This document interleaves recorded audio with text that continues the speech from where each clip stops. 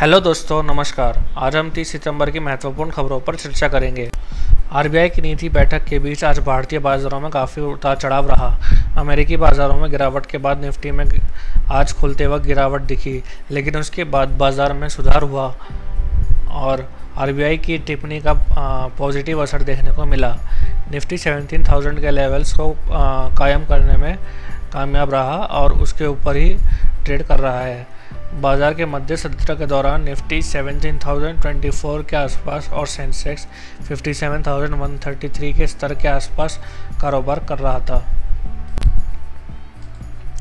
देश में दोपहिया वाहन बनाने वाले सबसे बड़ी कंपनी हीरो मोटोकॉर्प ने कहा कि वह भारतीय बाज़ार के लिए संभवतः इलेक्ट्रिक मोटरसाइकिलों को संयुक्त रूप से विकसित करने के लिए एक अमेरिकी ईवी निर्माता के साथ एक सहयोग समझौते को अंतिम रूप दे रही है।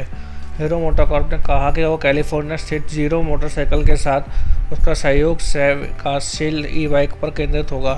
कंपनी ने कहा कि ज़ीरो प्रीमियम इलेक्ट्रिक मोटरसाइकिल और पावर ट्रेन का निर्माता है। इसमें कहा गया है कि ज़ीरो अपने सेगमेंट में वैश्विक नेता है।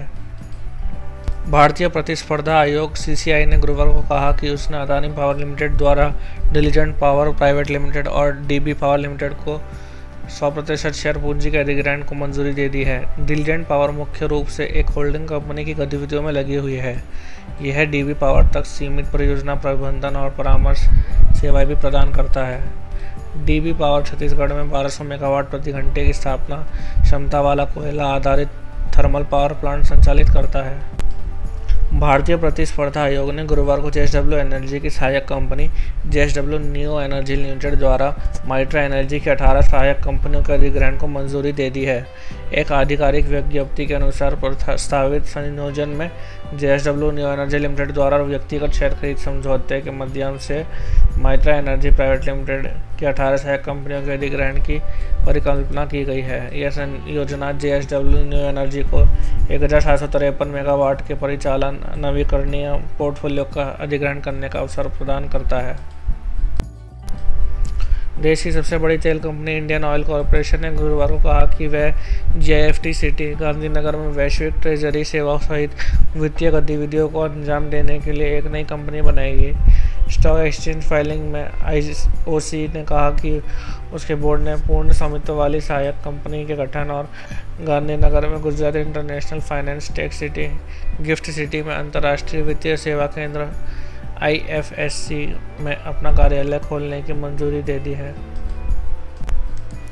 जीवन बीमा निगम ने गुरुवार को कंपनी में अपनी कुल हिस्सेदारी को पाँच परसेंट से अधिक ले जाने के लिए विशेष रसायन निर्माता दीपक नाइट्रेट में एक अतिरिक्त हिस्सेदारी खरीदने की घोषणा की। एलआईसी ने बुधवार को एक नियामक फाइलिंग में कहा कि दीपक नाइट्रेट में निगम की हिस्सेदारी सड़सठ लाख अट्ठासी हज़ार तीन सौ सत्ताईस से बढ़ाकर अड़सठ लाख अट्ठावन हज़ार चार सौ चौदह इक्विटी शेयर हो गई है। जो उक्त कंपनी को चुकता पूंजी के 4.977 प्रतिशत से 5.028 प्रतिशत तक अपनी हिस्सेदारी बढ़ा रही है। सबसे बड़े भारतीय एयरलाइन इंडिगो ने आज एक समर्पित कार्गो सेवा शुरू करने के लिए अपना पहला मालवाहक विमान शामिल किया।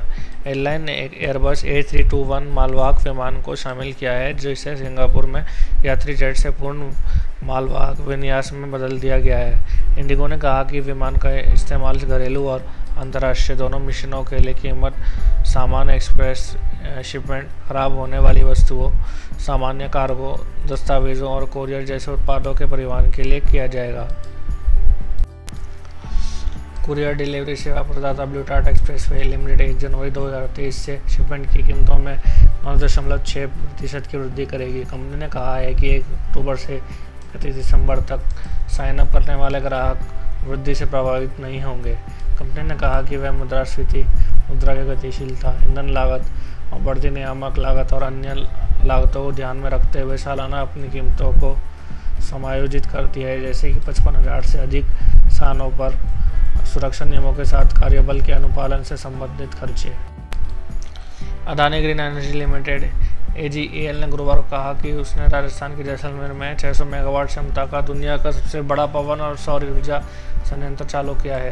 कंपनी के एक बयान में कहा गया है कि प्लांट का solar energy corporation of India ए के साथ 25 साल के लिए दो दशमलव छः नौ किलोवाट प्रति आवर पर बिजली खरीद समझौता है। आज के लिए इतना ही। आशा है आपको वीडियो अच्छा लगा होगा। सुनने के लिए धन्यवाद। इस तरह के और भी कंटेंट के लिए हमारे चैनल को लाइक और सब्सक्राइब करें।